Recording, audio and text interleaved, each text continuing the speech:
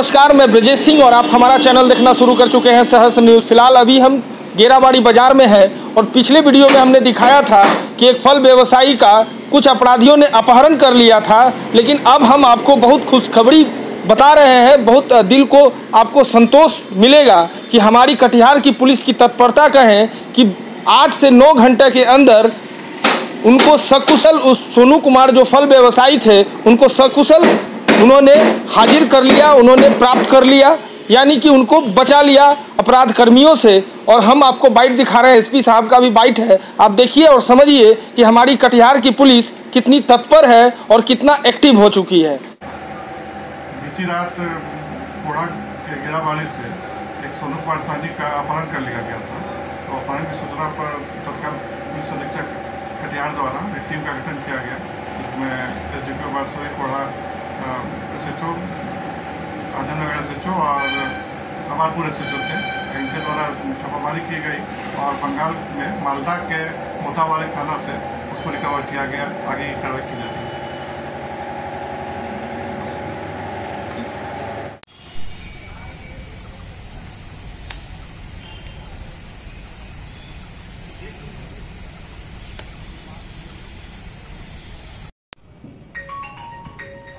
Sir क्या पूरा मामला है? बारह जून को अ, सोनू कुमार सहनी जो फूलडोभी फलका के निवासी हैं और उनके द्वारा कोढ़ा में फल का आढ़त चलाया जाता है को लगभग चार बजे सुबह कुछ अज्ञात अपराध कर्मियों द्वारा वाहन से अपहरण कर लिया गया। सूचना प्राप्त होते ही अनुमंडल पुलिस पदाधिकारी कटिहार और अनुमंडल पुलिस पदाधिकारी बारसोई के नेतृत्व में टीम का गठन किया गया।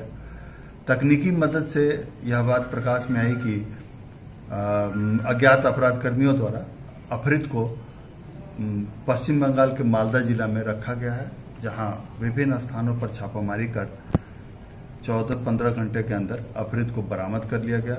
इस घटना में शामिल सभी चार अपराध कर्मियों को गिरफ़्तार कर लिया गया है और घटना में प्रयुक्त मोटरसाइकिल सॉरी, वाहन भी बरामद कर ली गई है।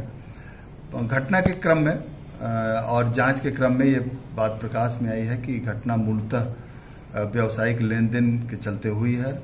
अपराध कर्मियों द्वारा इनका अपहरण कर पैसा वसूलने की तैयारी की जा रही थी और इनके साथ मारपीट भी की गई है। इनका इलाज भी कराया गया है। अग्रिम अनुसंधान की जा रही है।